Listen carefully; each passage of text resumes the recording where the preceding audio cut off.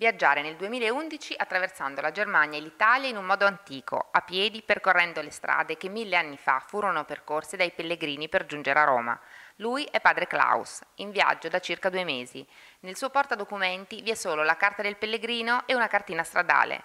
È giovane e sorridente, ha l'aria sportiva, parla un po' di italiano, inglese e ovviamente tedesco e per testimoniare il suo lungo pellegrinaggio internet e YouTube. Ja, ich möchte noch ungefähr einen Monat weiterlaufen und hoffe dann nach Rom zu Allora, ho ancora un mese da, davanti a me perché voglio arrivare a Roma e ho anche ho già un appuntamento per un'udienza dalla, da Sua Santità eh, che mi, mi rende anche molto felice. E quindi il Papa ti sta aspettando, sa che tu stai facendo questo, questo cammino a piedi per raggiungerlo? Also das Vatikanische Büro weiß das, ob es der Heilige Vater weiß. Beh, eh, non, non, sa se lo sa anche il Papa, comunque lo sa l'ufficio del Vaticano, eh, dice che lì sono anche spesso molto lenti, eh, per cui ci vuole sempre molto tempo per, per raggiungere qualcosa, comunque eh, ha già un appuntamento. Il tuo viaggio è un viaggio a piedi? Cioè veramente a piedi? Sei arrivato da, fino a Ravenna partendo da Turingia oppure eh, non so, hai utilizzato anche dei mezzi di trasporto, non so, mh, mm, treni,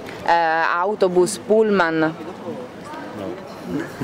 Zug. nessun treno, tutto a piedi. E com'è fare un viaggio di questo tipo a piedi? Es ist sehr anstrengend, ja, aber pilgern ist ja wieder è, è faticoso, certamente è molto faticoso, però vabbè, intanto se, se, non sbaglio anche i pellegrinaggi sono di nuovo di moda, ma, ma poi la, soprattutto eh, quando si cammina a piedi non, non, si passa attraverso un paesaggio ma si vive quel paesaggio, si vivono le persone, si ha, si ha modo di, di apprezzare ogni piccolo cambiamento cambiamento ogni, in ogni chilometro che si fa e si ha anche molto tempo dentro la testa per, per pensare, per, per vivere questa, questo viaggio.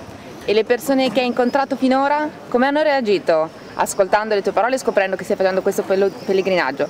Um, Also alles in allem schon sehr positiv. Eh, in generale positive, però eh, diciamo che ho avuto tantissime esperienze diverse, molti che mi hanno aiutato, ma sono rimasto spesso anche davanti a delle porte chiuse, anche di chiese e di conventi. Per Ravenna Web TV, Sara Pietracci.